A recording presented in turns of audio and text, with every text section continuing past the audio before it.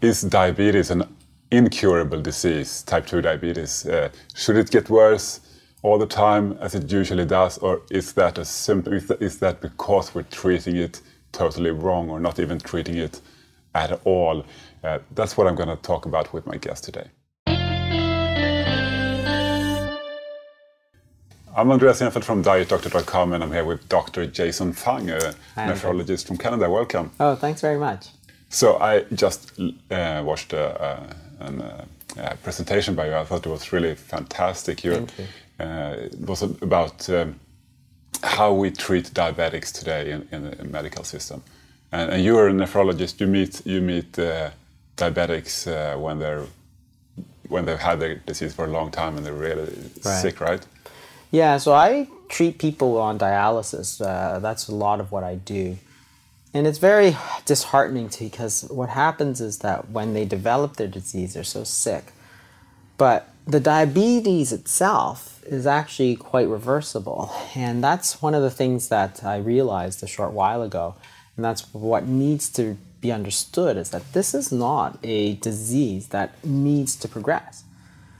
But we often tell people so the, that it's a chronic progressive disease, and that's not simply me talking, but if you go to the diabetes associations, uh, whether it's the American Diabetes Association or the Diabetes Australia, they all put out there that this is a chronic disease.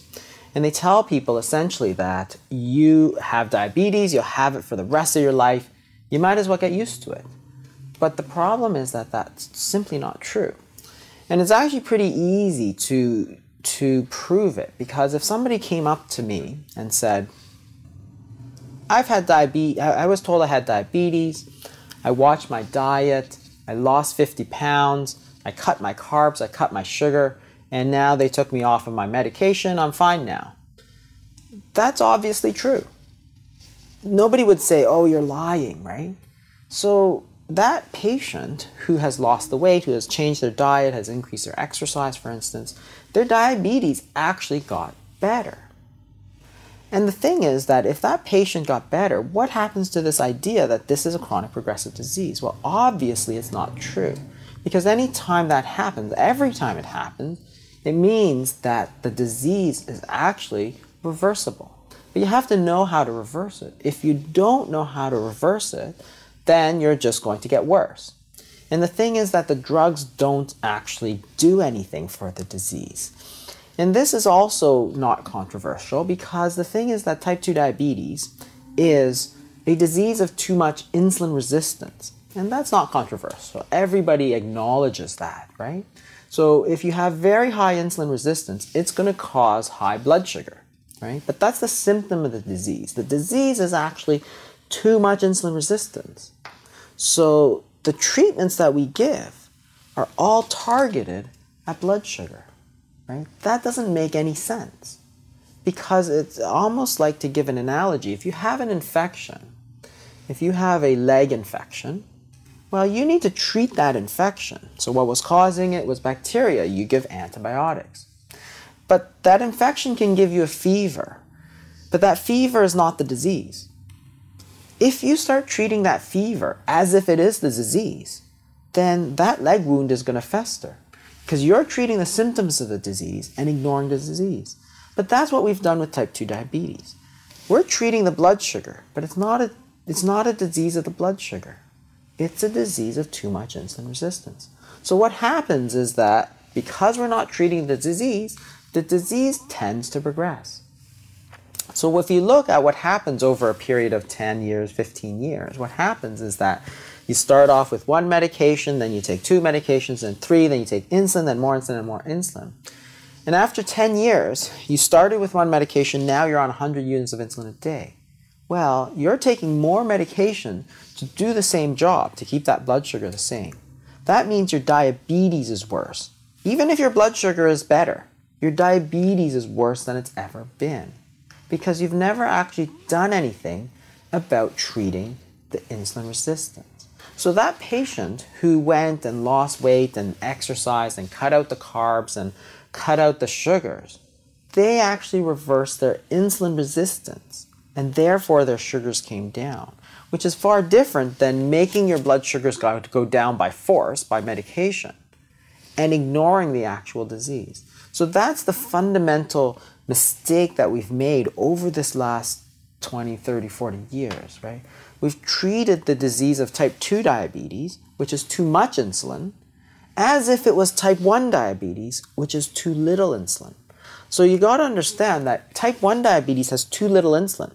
So that makes sense. You should give them insulin. Type 2 diabetes is too much insulin. You need to reduce their insulin. But instead, we're giving more insulin to a disease state that has too much insulin. Well, of course, Which that's not going to work. That's crazy. And you had an analogy there as well uh, uh, in, in, your talk. You were saying it's like that would be like treating an alcoholic with uh, Exactly. So if you have uh, a disease such as alcoholism, where it's characterized by too much alcohol, the very last thing you want to do is give more alcohol. And that seems very obvious, right? But if you look in the short term, as you take away the alcohol, they might get the shakes, they might get delirium tremens. If you give them alcohol, they will feel better in the short term, right? But that doesn't mean you're going to make the alcoholism better, right? That's the real problem. It's the alcoholism. You can't treat the short-term thing at the expense of the long term. What we've done is treat the short term. We said, wow, your blood sugar is high, let me get it down, right? But it's like, well, what's happening to the disease? Who cares what's happening to the blood sugar? What's happening to the disease? It continues to get worse. So it's just like that alcohol. Too much alcohol. The disease is too much alcohol. The cure cannot be to give more alcohol. right. Right, So to be clear, crazy. giving insulin to Right. The a disease common is type 2 too much diabetic is like giving alcohol to an al- alcoholic. Exactly, exactly. So And the disease is too much. It's insane. In fact, it's not simply that it's not treating it, it's going to actually make it worse, just like giving that alcohol. You have a disease which is characterized by too much insulin. You're giving more insulin. You're not making it better. You're actually making it worse. So the patient will thought. lo- gain weight and they will, their insulin resistance will get worse. and- Exactly. yeah. And the, the funny part is that the patients all know this. Because this is what happens, and I talk to a lot of patients, and they say they go to their doctor, they start insulin, then they gain 15 pounds, 20 pounds, right? Which is, we, we all know that happen. That's not a secret because insulin is what really drives weight gain. So what happens is that they take the insulin, they gain weight, and they go back to the doctor and say, Doc, what's this? You tell me I need to lose weight to get better. Then you go and give me a medication that makes me gain 20 pounds. This is not good. And the doctor always says something like, Well, what are you going to do? You need to take the insulin, go exercise, right? But the problem is that it was not the lack of exercise that made them gain weight, it was the insulin that made them gain weight. So you need to treat that. You need to reduce it. So what do you do? What do you do if you're a type 2 diabetic? Well, the thing is that it's a dietary disease, right? And if you're a type 2 diabetic, it's a dietary disease. It's a disease of essentially too much sugar. So if you understand it like that, then the answer is to get that sugar out, get it down. So the first thing you need to do is cut out all the sugar, cut out a lot of these refined carbohydrates, which are just sugar. So the breads and the pastas, right? So they're all chains of sugar. That's all carbohydrates are chains of sugar. As you eat them, they get broken down into sugar. So if you have too much sugar, if diabetes is essentially too much sugar, you got to stop taking sugar. Otherwise, you're going to make it worse. So that's probably the first thing. You can do more exercise, try and burn it off. And the other thing that you can do is try to do something more extreme, such as fasting, for instance. You can actually More extreme that. than a strict low carb diet. I love it.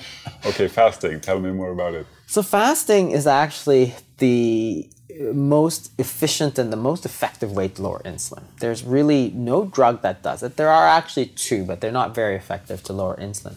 But if you understand that the disease is too much sugar, too much insulin, then you got to say, well, if it's too much sugar, too much insulin, let's get rid of the sugar, let's get the insulin down.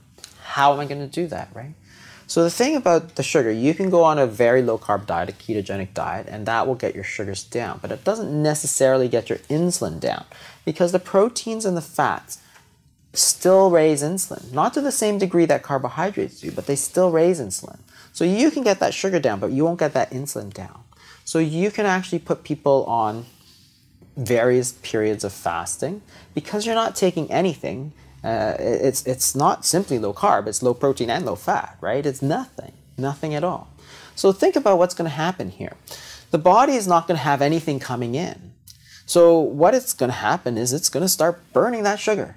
And that's perfect. That's exactly what we want it to do. It starts burning sugar, burning sugar. After it burns the sugars, your sugars come down. You don't have to take medications. You don't have to take insulin. After that, it starts burning fat. And that's perfect. That's exactly what we want to do. And there's always two questions that come up when you talk about fasting. One, can I do it? And the thing is, you have to understand is that literally billions of people around the world fast on a regular basis through their entire lives, right? So the Muslims, the Hindus, the Buddhists, the Catholics, almost every major religion in the world prescribes fasting. Not because it's super harmful, because it's very beneficial. And what they what happens during the fast is that your insulin levels go down. Perfect. That's exactly what we want. But so what we're doing is we're burning off all that sugar and getting it out of the system, right? As opposed to just getting it out of the blood, we're actually getting it out of the entire body. So the fasting does both things. It lowers the insulin and it lowers uh, the sugars. The other thing that always uh, comes up uh, with fasting is is it harmful? And this is what always comes up. Am I going to go into starvation mode? And what's interesting when you look at fasting is that studies of fasting show the exact opposite. You don't have less energy, you have more energy. So there are certain things that get activated when you're fasting. So growth hormone goes up, for instance, to preserve lean muscle. Then you'd start burning just fat. Adrenaline goes up to give you more energy. And you're fueling all that energy with fat because you can measure free fatty acids in the blood and they go up. So what's happening is that you're burning fat, you're preserving your muscle, and you've got plenty of energy. Perfect. That is like the perfect treatment.